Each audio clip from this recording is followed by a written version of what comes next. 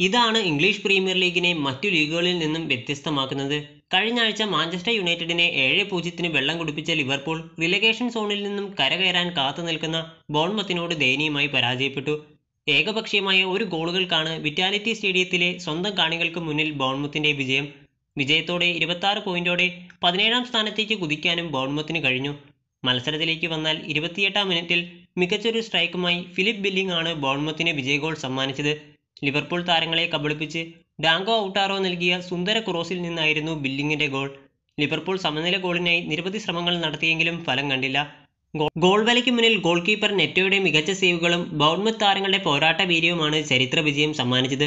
ആയിരത്തി തൊള്ളായിരത്തി അറുപത്തെട്ടിന് ശേഷം ആദ്യമായിട്ടാണ് ഒരു മത്സരത്തിൽ ലിവർപൂളിനെതിരെ ബോഡ്മോത്ത് ക്ലീൻ ഷീറ്റ് സ്വന്തമാക്കുന്നത്. മത്സരത്തിൽ സമനില ഗോൾ കണ്ടെത്താൻ ലിവർപൂളിന് സുവർണ അവസരം ലഭിച്ചതാണ്. എന്നാൽ ലഭിച്ച പെനാൽറ്റി ലക്ഷ്യത്തിലെത്തിക്കാൻ മുഹമ്മദ് സലായിക്കായില്ല. കഴിഞ്ഞ യുണൈറ്റഡിനെതിരായ മത്സരത്തിൽ മിന്നിത്തിളങ്ങിയ സലാ ഗാക്പോ നൂനസ് ത്രയത്തിന് യാതൊരു പ്രതിഫലനവും മത്സരത്തിൽ ഉണ്ടാക്കാൻ കഴിഞ്ഞില്ല. ഈ വിജയത്തോടെ ഇരുപതാം സ്ഥാനത്ത് നിന്നും ബോർഡ്മത്ത് പതിനേഴാം സ്ഥാനത്തേക്ക് ഉയർന്നു. ലിവർപൂൾ ആകട്ടെ ടോപ്പ് ഫോർ പ്രതീക്ഷയെ തല്ലിക്കെടുത്തുകയും ചെയ്തു.